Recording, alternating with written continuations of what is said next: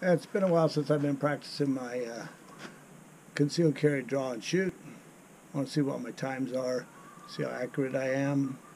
Uh, the first shot's going to be with my gun unloaded. I have to load it first because a lot of times I'm in the presence of children and I don't like to have it loaded in front of them unless it actually has to be.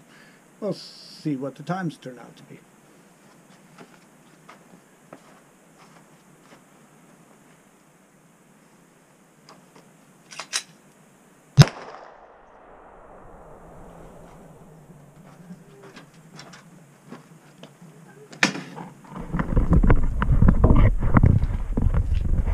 So I'm shooting at about 15 yards, right at 15 yards exactly. And basically I'm just shooting for center body, body mass. And this box pretty good representation.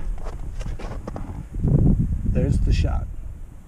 And I'm guessing the time is probably around three seconds.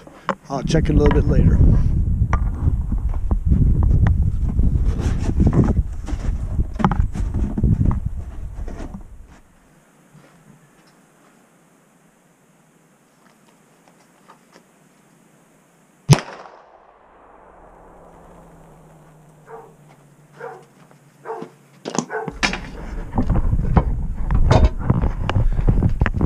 Just to give a comparison of the two shots. I'll come up here and take a look.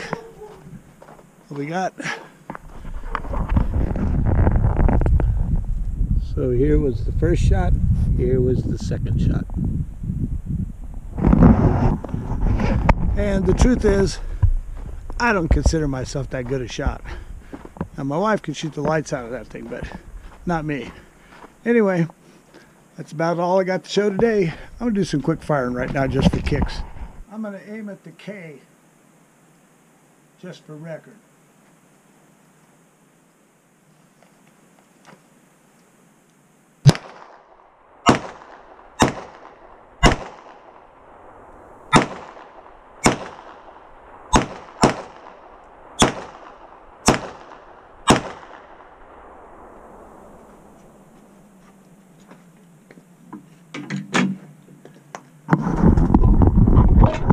And truth in advertising we'll go up here and see just how well or how bad I did.